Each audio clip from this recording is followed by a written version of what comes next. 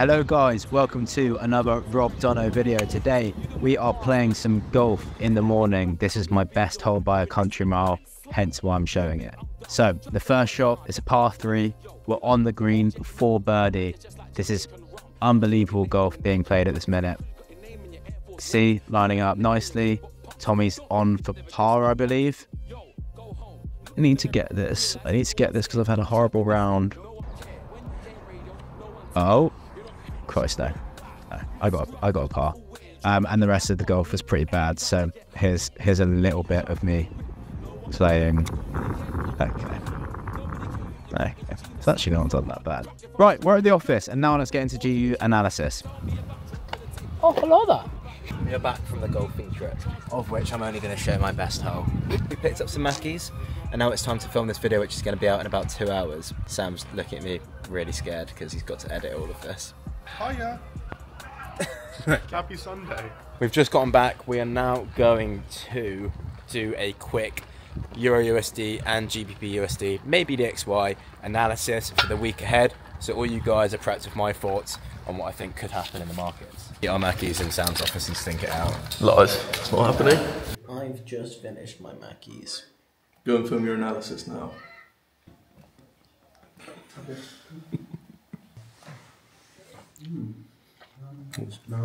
Let's. Okay, so welcome to my analysis of GBP USD. Now, for those new traders out there, I thought I'd very quickly show you my chart settings because I always get messaged about my colors and all of this good stuff. So literally here you go. Um, it's very simple. Yellow bullish candles, white bearish candles. The reason being, and wicks are grey. The reason being is because you shouldn't have a connotation of positivity to bullish or negativity towards bearish because then you're going to want trades to only go up rather than come down and obviously you want to short the market as well. So let's actually get into the analysis. Also the background um, has no no grid lines and it's just solid black. Okay cool. So as I've stated multiple times in TikToks we are not in a very nice market at the moment for GU However, I've stated in the last few lives I've done with my community that price has technically turned a bit bearish. Price action prior was really, really nice. You were seeing solid bullish movements all coming back down up in this bit here into the discounted before making a strong move up. Again, coming into discounted and again. And then this is the last high that got put in. This created technically a lower low, but equal low nonetheless, I guess. Um, and then price actually respected that high, created a new low again, and again respected. So what I'm expecting to at least happen at the start of the week is price to fall shorter. I'd be fairly surprised if price doesn't, but we're not really here to predict the market. It's more to give opportunity of where we could react to. So dropping down to the four hourly, obviously you've gotten a lot of buying pressure from here, selling pressure from here. Now, what I would have said and what I did say to my to my team a while ago is you've got all these equal highs here. You can imagine that when this is obviously when the market was here, that when price takes out these highs, whether we reacts to this order block here or this imbalance here, we're going to go to the opposite side, which is exactly what we did. But then equally, we've got this all these equal lows here, which are also liquidity. The only reason that I'm a bit more bearish than I am bullish um, and it's not all to do with GU as well. Uh, you'll see when I do the Euro analysis that it looks a lot nicer on Euro USD. But the reason I am more I am more bearish is because this low got taken out, but we didn't take out the high that caused it. So this high has been respected, as you can see.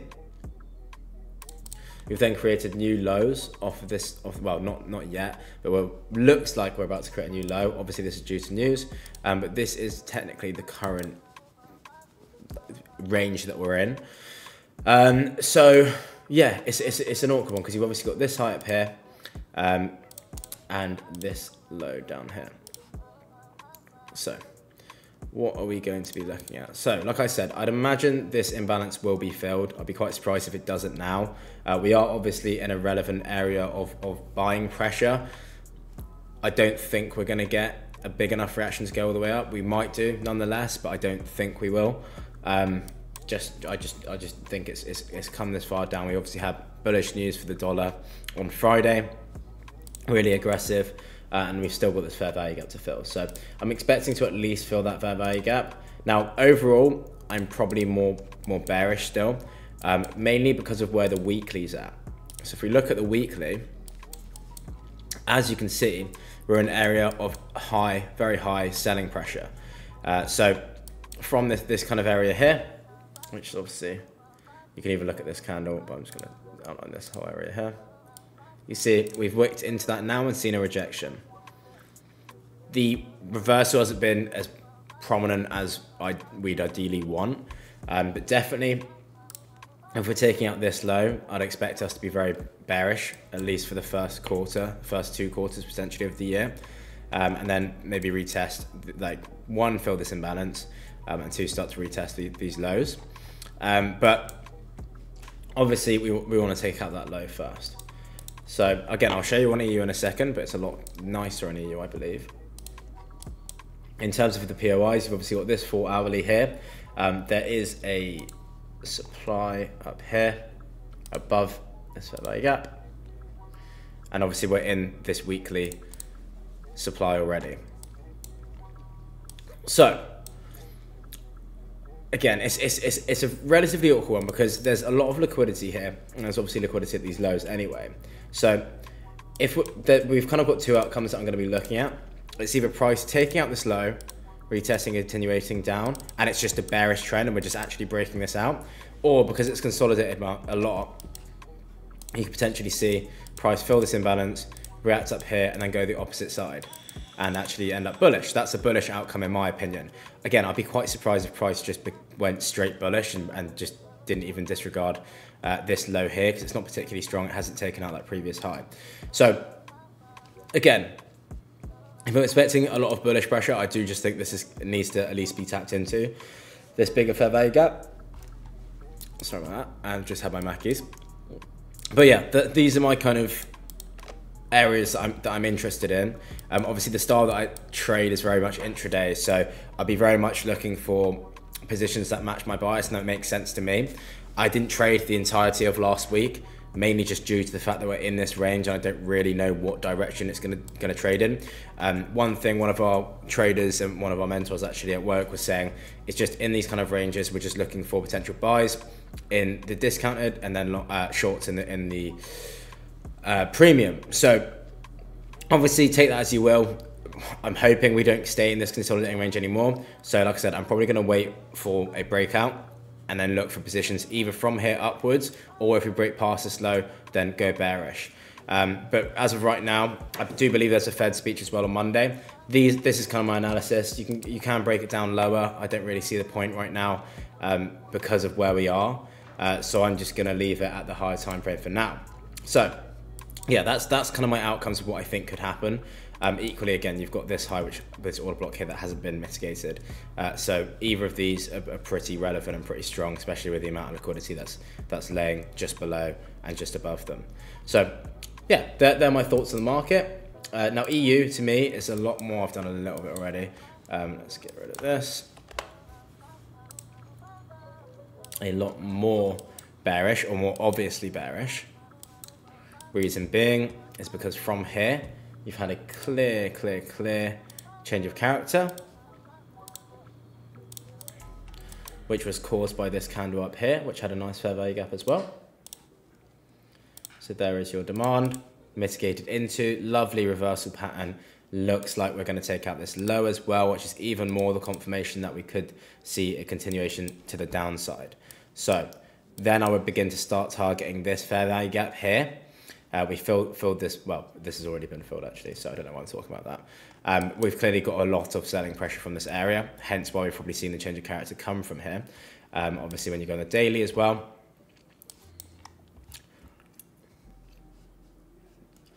you're, you're or like I said, ideally wanting this to be taken out. We are in an area of sell, of buying pressure, but we've already had a reaction back upwards, and prices just disregarded that and gone straight back down. So um, again, Weekly to me look extremely bearish, and I expect this low to get taken out as well. Um, but obviously, again, we can't exactly predict the charts. Um, so it depends obviously on fundamentals, depends on what, obviously we don't make the decisions as retail traders. You've got to react to what we can do. So what I'd look at is obviously stay on the daily. Um, if any of these highs get taken out, then I potentially look for a, if I, again, I probably wouldn't look for longs until something like that happened and then retest towards that way. Um, but even that is quite, quite kind of, uh, what's the word I'm looking for? Um, optimistic for the euro. Um, so yeah, price obviously changed back down this way. And come on all the way down from here. This new high, slight pullback there. New high, taken out, pullback, and you've had a bit of inducement in there. I'm just going to use this for now, and so forth. So yeah, it's not the best. It's not the nice. It's not been the nicest price action at all. You've had inducement here, inducement here, which to me, normally inducement would mean that we're going to get a reaction kind of deeper into the order block. So that's my kind of bear, uh, bullish outlook, is that you could potentially look right at the bottom of this swing here, which is there, which is already tapped into and had a big reaction from, which makes sense why I got the right reaction. Um, maybe drop down to the hourly, refine this a little bit more. There's your big impulsive move potentially look around there. Even that's not beautiful because that didn't cause, that wasn't the extreme low. That's all the extreme low here. So yeah, it's, it's looking like it's already reacted to or reacting to now where we're at is actually at that order block. Yeah, again, it's that, it's that area there that caused it. So yeah, that's that's it really refined down. Um, we actually haven't hit it yet. So in terms of the 15 and the hourly and the four hourly, we have hit it. You've got equal lows there, which um, your bullish look would potentially be a Asian range here that maybe consolidates above this 15 minute.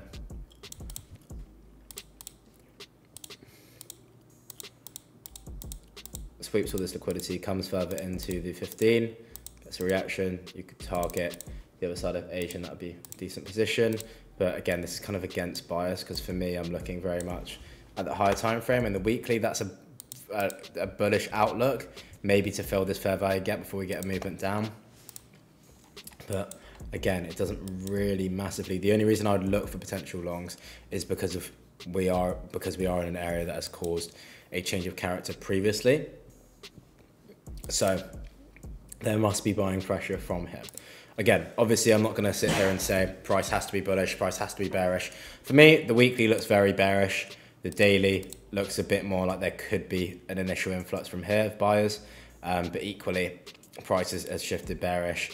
Um, it's just whether this this really bottom, uh, this extreme low of the swing gets respected, um, which I, I, I'd be surprised if it does.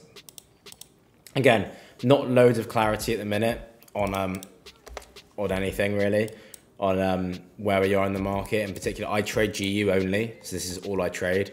Um, I might look into trading EU if it's if there's really no positions on GU. Um, but equally on GU, how I'm speaking about potentially seeing a, a, bit of buying pressure from this low here. That's the same kind of thing that I just ran through with EU of it coming into this low and then potentially targeting the other side of liquidity, which is something you could do. Um, and that's a bullish outcome, and that would happen coming further into this, or maybe even sweeping past this and reacting to the low there. Which obviously you're not only going to have, um, obviously session liquidity, structural liquidity, you also have a bit of SMC liquidity where people are trying to trade this order block. Um, but again, what I always do is be, be, be, waiting for confirmation, at least on the 15, looking for um, our clear change of character back to the upside, um, if not the hourly. So that's EU and GU. They're the bullish outlooks. The bearish outlooks are very much just seeing price obliterate these lows um, and looking for retest of potentially any kind of order blocks you can look at in here. Obviously, you've got a lot of selling pressure from there. Um, whether that's left completely, I won't be surprised if that is filled a bit. So we're in a bit of a, like I said, we're in a bit of a strange place. The reason we obviously got such a big reaction there, I think you probably would have had some news as well at some point. But yeah, these, these haven't been the best weeks. Like I said, I haven't traded at all. I hope this is relatively helpful just where I'm looking at. Um, I don't want to waffle on too much as I'm about to go live with my whole team and go through the exact same stuff. So um, that's kind of my thoughts, my bearish and, and, bullish outlooks of what could happen in the charts.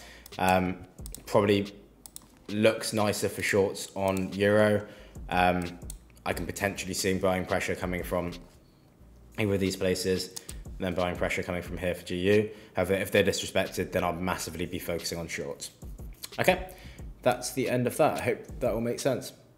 Right guys, that is the end of my video. I hope you enjoyed the analysis. I hope you enjoyed a little bit of golf and I hope you enjoyed all of our pretty faces. Subscribe, subscribe to my channel and follow my Instagrams and join WokeFX because um, just subscribe.